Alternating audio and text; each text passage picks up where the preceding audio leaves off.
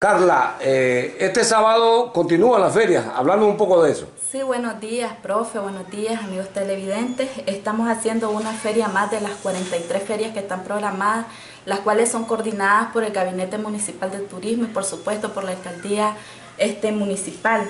Este, en esta feria se estará ofertando lo que es este, la sopa de res. Tendremos un encuentro al mismo tiempo de béisbol infantil, un encuentro deportivo donde estará participando el equipo de Totogalpa con un equipo de San Juan de, Río Coco. Eh, a la vez, pues en esta feria se, estará implementando, ¿verdad?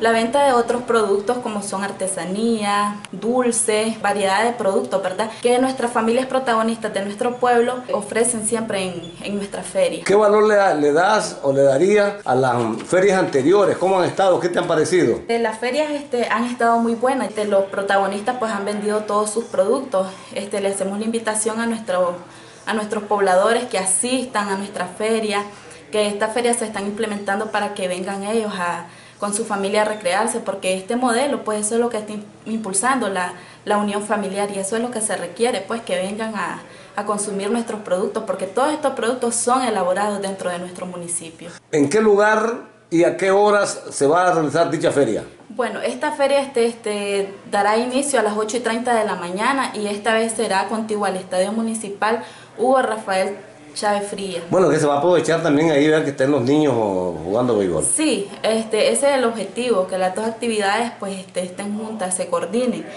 También estas ferias pues son con el objetivo, profe, y se persigue.